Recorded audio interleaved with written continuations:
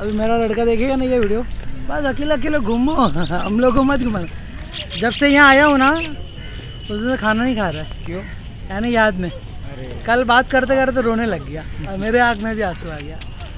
अरे ऐसा है लाड प्यार में एकदम दोनों है ना हाँ, जो हाँ, मांगे फटाक से दे देता हूँ। प्यार प्यार यही होता है। अभी मैं खुद अपने पापा से नहीं बात कर रहा हूँ।